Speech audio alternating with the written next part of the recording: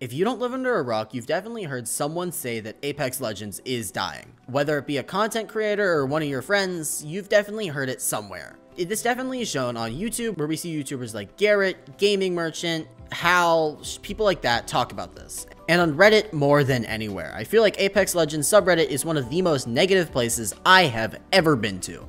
I hate it here, but I need video ideas, so I mean, the trade-off's worth it. But as we see by this post, it says that the Steam charts show that this is the lowest amount of players on a new season release, and that the Twitch count is at its lowest of all time. While a commenter points out that Steam is not the only platform, it still shows us some good metrics for information. I'm to go through this post because it basically shows every complaint that I've heard people have. First, this is the least amount of players on a new season. If we look through Google Trends, we can see that currently we're in November. No, shoot. And we see the player count dropping. It's around the fall season. And if we look back two years, the same thing happened. Through winter, late fall, player count dropped. And guess what? Last year, the same thing happened. And there are a few really good explanations as to why. Modern Warfare 2 came out in late October, which obviously is going to take a lot of FPS players who play Apex and put them into Call of Duty. From what I've heard, a lot of people really like this game and a lot of people don't. But overall, I've heard that it's a really fun game, so obviously it's going to take player counts away. And then Overwatch 2 happened, which took away a lot of players because I feel like the genre is being like a character-based, ability-based game, and it has more movement than Warzone, bro. And then the big hitter today Warzone 2 came out, which I think is going to affect the player count the most. And that's why I'm making this now, because I have a feeling it is going to drop with this game.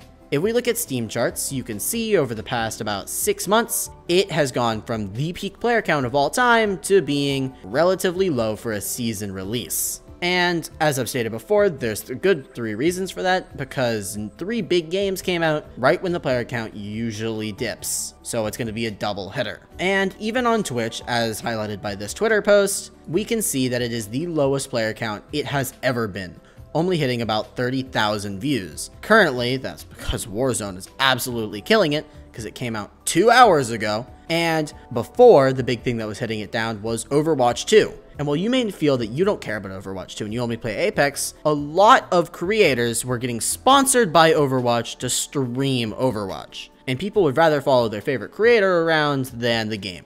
Usually. Obviously, I'm not saying for everyone, and the reason games like New World and Rocket League are over it is because the just genre of people watching it aren't gonna follow. Apex Legends players are gonna go watch Warzone because they're interested in Warzone, but usually they're never gonna watch a Rocket League or New World stream. It's just different categories of games, so the players don't really overlap. And going back to this Reddit post, we can see that they're saying that Respawn only cares about money, and I'm not saying that they're wrong because I'm not head of the company, I don't know their priorities. Obviously, they are focused on money more than anyone would like, but they're saying that it's terrible because they fixed an heirloom glitch, which is just a line of code that has previously been in the game, but for some reason was disabled with the release of Season 15.